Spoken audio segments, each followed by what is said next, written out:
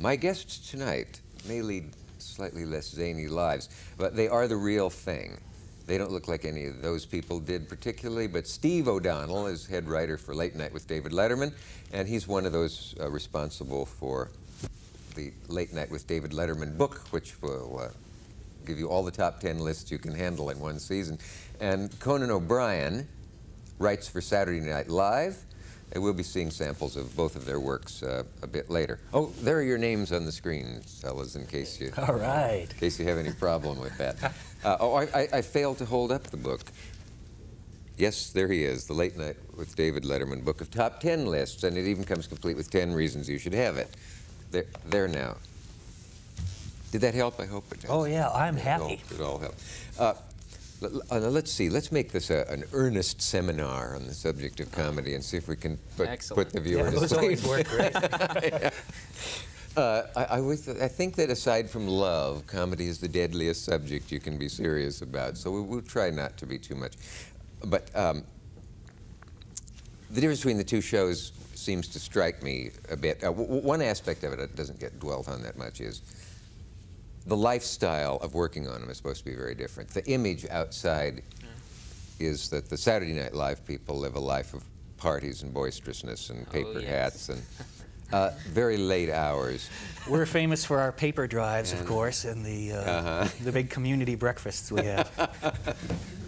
And, and well, that sort of completes, and that the Letterman people live a, a more bourgeois, bankers sort of existence. Well, yeah, sort of have to. We're, may, we're maybe more like a newspaper where they're a, a slick, glossy magazine, or at least a weekly. is that what it is? All right, they're Yeah. like they're like the Sunday Parade, and uh, Right, right. and we're like the Daily News. Yeah, I think that, that pretty well spells it out. Um, the hours are vastly different, right? You'd, you'd have to change your entire biology to move from one show to the other. Well, yeah, you could more or less say that I'll I'll, I'll see com- uh, Conan coming into the building while I'm I'm leaving. Yeah. Right. Has anyone pointed out that the two of you each come, that both of you comes, do you know what I mean? That in each case you We, come we from... rode a car here together, if that's Yeah. what you mean. uh, We yeah. have that in common. Co- comes from Harvard. Um, Yeah. Now, there's nothing to be ashamed of, and I don't want to rub it in. And No, that uh, No, no, that, that comes was- that comes up a lot. It seems to come up more and more uh, since the early 1980s when you started seeing Harvard graduates and especially uh, uh, men and women who are on the Harvard Lampoon, the Yeah. humor magazine uh, organization on campus, uh, writing. Writing uh, TV and uh, for magazines and so on. I, it, it seems to be a surprise to a lot of people because I think still the classic popular notion of Harvard graduates isn't knee slapping and funny, but rather kind of maybe dull and wan and pale and annoying. and the idea of mom, I've decided to go to Harvard and, and uh, write gags for pantaloons and comics. And, It's become like it, yeah. with your shoulders bare on stage. It's become. It really has become like more of a respectable occupation. I think. I think if you had Yeah. said in the '60s, if you had come out of Harvard in 1965 and said, "I'm going to write for TV," that uh, you'd be seen as some sort of failure. But now it's definitely you get more people. I think now you're seeing people at Harvard who are thinking, you know, uh, you know, uh, maybe TV is a good career for me. They probably you couldn't have found anybody who was thinking that years, not that many years ago at Harvard, I'm sure. Uh, but we don't open the catalog and see um, a survey course of comedy from Aristophanes to Roseanne. Uh, I don't know. I I'm I wouldn't put it past. Yeah, you know, it seems right about now. organization I, I, I think when I was in, in at school in the mid '70s, I don't think it was a, a viable career option quite then yet. But I think now people, I talk with undergraduates and they say, well, I'm, I'm writing some scripts. I'm going to send them out to you know Viacom or, or, or or Fox or something like that, and it seems like they they accept as a matter of course that this is a profession like dentistry or lawyering right. or and by the State time Department I, by uh, the time I graduated Harvard, which was 1985, I got a call. I got two agents calling me, you know, while I was writing my thesis, you know, which you mean they're scouting Harvard now? The way I think they are. I mean, I think there's a little bit of that now because Mm-hmm. you know, uh, you know, which is, you know, maybe uh, maybe somehow perverted, but uh, yeah, I got calls from people. They were unsolicited. They were just like they had heard the, you know, let's call the Lampoon Castle, give it a shot, See invest ten minutes in a phone call and see what idiot answers. You know, one of the guys might pan out. right. So Let, what, let me look an example of each of your work. I'm having trouble with my pronouns here. Here uh, let's start with uh, a clip from SNL, Saturday Night Live. That's, uh, this is a thrill to see your work come alive. Uh, That cracks me up every time I see it. Let's do it again. want, to, want to run it back and get, get Please, a- could get we? I've got time. Okay.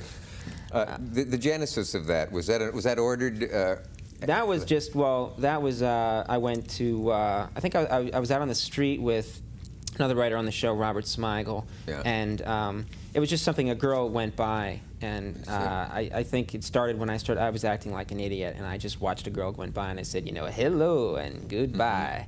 She's not interested in me at all, and uh, he started doing it, and we both had fun doing it. So uh, we thought we'll give it a try, and then Tom Hanks, you know, was great doing it. A lot of it's just matching it to the host. Yeah, If a host yeah. can do it, you know, if are, are there hosts who come in with a, a list of things that uh, please don't ask me to do this or that, or Yeah, there it- are. I mean, if a host been Conversely, do they want to be asked to do crazy stuff that you'd rather they didn't? And It's it's funny. Sometimes you get a host who is on the show only because they've been involved in some huge scandal. You Wow, know, yeah. they've just committed a murder or something, and that's the reason they're on the show. Mm-hmm. And they come in the first day there, they say, "Look, nothing about that."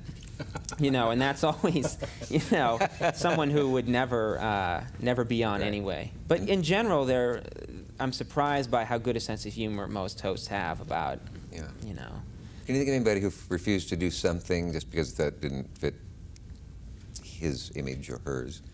Yeah, well, I, I remember uh, I worked on a sketch. This, you know, I worked on a sketch and uh, with with George Steinbrenner, and I think there was one thing in it where he had to do something really silly that he, you know, like dance or something, and he was like, I don't really want, you know, I don't want to be seen dancing, and you know, you can understand we- that. Some people have. We were deprived of the Steinbrenner terpsichore, eh? Yeah, and yet we got to see uh, the president's son, Ron Reagan uh, uh, Jr., dancing around in his BVDs. Yeah, We everyone they has were a. his DVDs, right? Well, they mean, probably were from wardrobe. Could, could have been. They were BVDs. They were so we crisp, checked on that. That's right. That goes back some years. Yeah, Yeah. that was. Steinbrenner wouldn't do that. No, I I mean that that's. Uh, I think he just made it clear. You know, he was uncomfortable, and uh, you know, he was a good sport about a lot of things on that show. Actually, I think he was wearing he wore a bra actually, a, a, a stuffed bra. Uh, That's a and- sign of flexibility. Yeah, so it's strange that you do get hosts that say things like, you know, I'm not going to. You know, please don't make me wear a bathing suit. right. But then they're really happy to be greased up and, you know, yeah. shot through a cannon. You're not something. revealing some secret about Steinbrenner that you caught. This is part of the show that you're discussing. He wanted to be greased up. That's, I'm just. Really? For the cast I, party. I, Yeah. I, I read something to that effect, but I guess I, guess I, I wasn't ready for it. Uh, we can take another example now. This time, a bit of comedy from the David Letterman show.